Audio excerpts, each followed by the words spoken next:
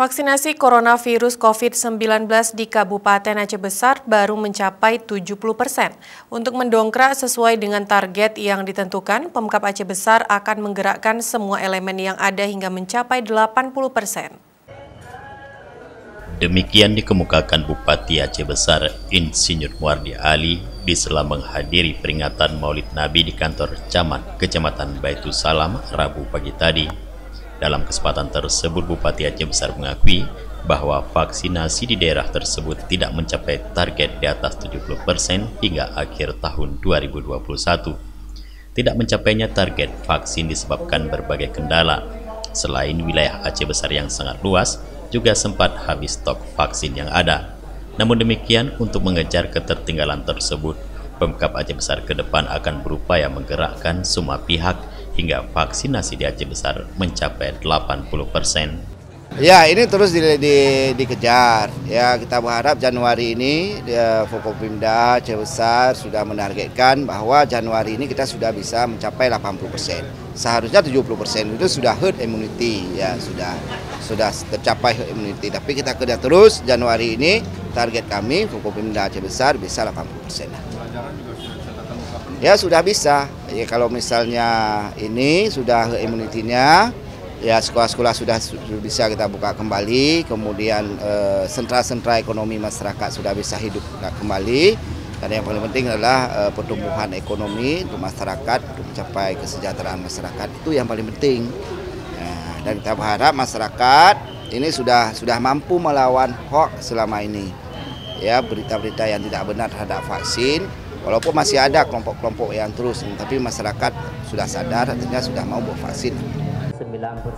Sementara itu, Ketua DPRK Aceh Besar Iskandar Ali mengapresiasi kerja keras tim vaksinator tingkat kecamatan, yang mana di beberapa kecamatan presentase vaksinasinya justru melampaui target.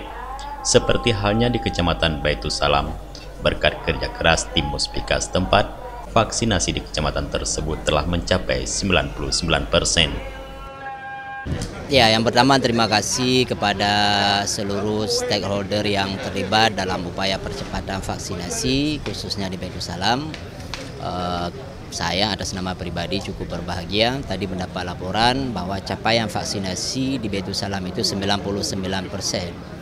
Nah mungkin ini salah satu angka tertinggi di Aceh Besar. Uh, ini tentunya tidak kebetulan.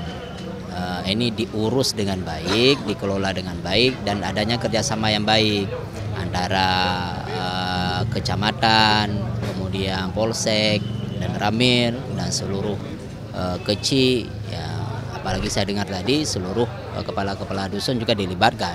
Ya. Dan ini harus menjadi model bagi seluruh kecamatan-kecamatan lain yang ada di Aceh Besar hari ini kan sudah terbukti dengan capaian vaksinasi tertinggi ini uh, kita agak sedikit leluasa. Nah, uh, mungkin kegiatan-kegiatan uh, kemasyarakatan lainnya itu sudah bisa dibuka ruang agak lebih leluasa. Nah, juga saya menghimbau uh, untuk seluruh kecamatan di Aceh Besar lainnya juga bisa meniru kiat-kiat yang dilakukan oleh uh, Kecamatan Baitul Salam dalam upaya uh, pencapaian vaksinasi. Ini penting ya apalagi eh, capaian vaksinasi ini di kemudian ini akan menjadi kebijakan utama setiap kebijakan pusat. Nah, kita tidak mau tersandra misalnya vaksinasi rendah, terjadi pemotongan di AU, kemudian terhambatnya penaluran BLT dan segala macam. Nah, nah, mungkin itu yang paling penting. Eh, apresiasi kita lah kepada orang-orang ini yang sudah bekerja siang dan malam e, diurus dengan benar, kemudian menyampaikan edukasi yang tepat kepada masyarakat.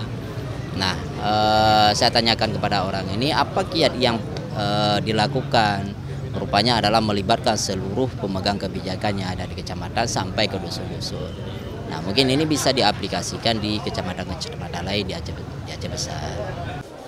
Selain Bupati, Ketua DPRK, peringatan Maulid Nabi di Kecamatan Baitul Salam juga dihadiri oleh sejumlah tokoh masyarakat setempat. Selain makan kenduri bersama, peringatan Maulid Nabi juga dirangkai dengan pemberian santunan kepada puluhan anak yatim. Dari Aceh Besar, Tim Liputan Aceh TV melaporkan.